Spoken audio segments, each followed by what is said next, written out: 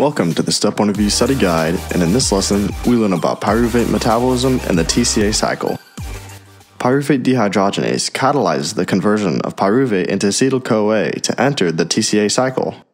An X-linked disorder may cause this enzyme to be deficient, causing pyruvate to build up, which ultimately gets converted into lactate and alanine.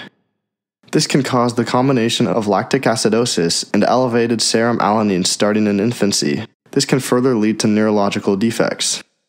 The treatment for this is substituting carbohydrates for ketogenic nutrients, foods high in fat content, and amino acids lysine and leucine. Pyruvate has four different metabolic pathways. Muscles can be catabolized into alanine, which is carried to the liver to be turned into pyruvate by a B6 dependent alanine aminotransferase.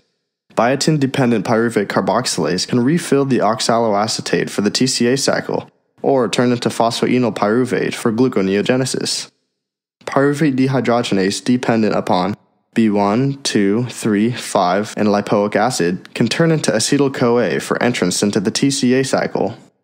And lastly, B3 dependent lactic acid dehydrogenase can be used to replenish NAD to keep glycolysis running in case of anaerobic conditions. Now, let's go over the TCA cycle. The TCA cycle is used to make reducing molecules NADH and FADH2 that can later be used in oxidative phosphorylation to create energy in the form of ATP. First, the 3 carbon pyruvate is made into a 2 carbon acetyl CoA. This joins with the 4 carbon oxaloacetate at the end of the cycle to create the 6 carbon citrate by citrate synthase. Citrate is isomerized into cis aconitate and then isocitrate. Next, the first decarboxylation happens and the first reducing species is created CO2 and NADH by the enzyme isocitrate dehydrogenase.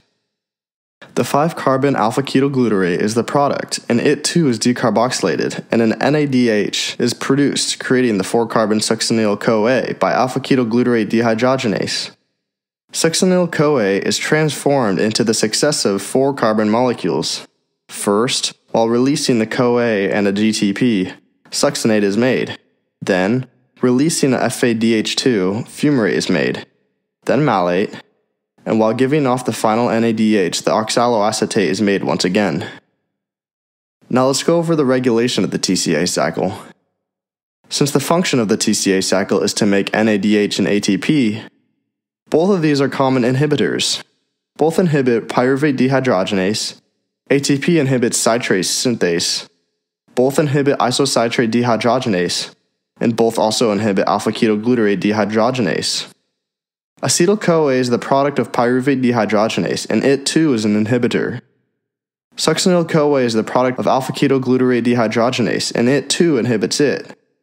And finally, one last thing to remember is that ADP activates isocitrate dehydrogenase.